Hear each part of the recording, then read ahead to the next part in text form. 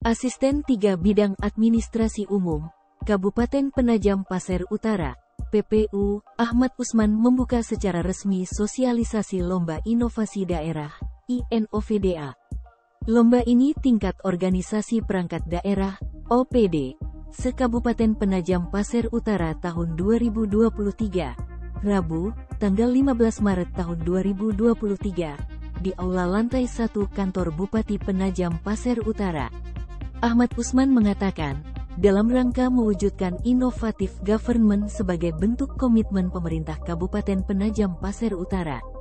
Tentu saja dalam menghadirkan inovasi dan kreativitas tata kelola administrasi pemerintahan, serta meningkatkan efektivitas dan efisiensi pelayanan publik dan akan diselenggarakan Lomba INOVDA se-Kabupaten Penajam Pasir Utara tahun 2023.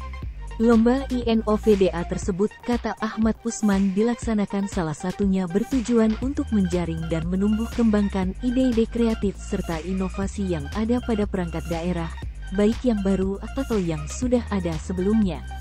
Pada hari ini, kita semua hadir dalam sosialisasi Lomba INOVDA tingkat OPD, yang mana INOVDA pada hakikat ditujukan untuk mendukung peningkatan kinerja pemerintah daerah dan pelayanan publik, ungkapnya.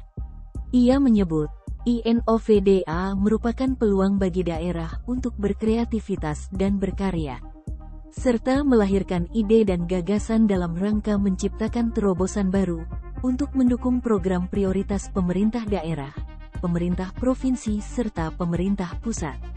Dalam kesempatan ini Ahmad Usman juga mengapresiasi seluruh perangkat daerah yang selalu melakukan inovasi. Tentunya dengan semangat dalam mewujudkan penajam Pasir Utara menjadi serambi ibu kota Nusantara. Ini juga merupakan upaya kita untuk mewujudkan penajam Pasir Utara menjadi serambi IKN, pungkasnya.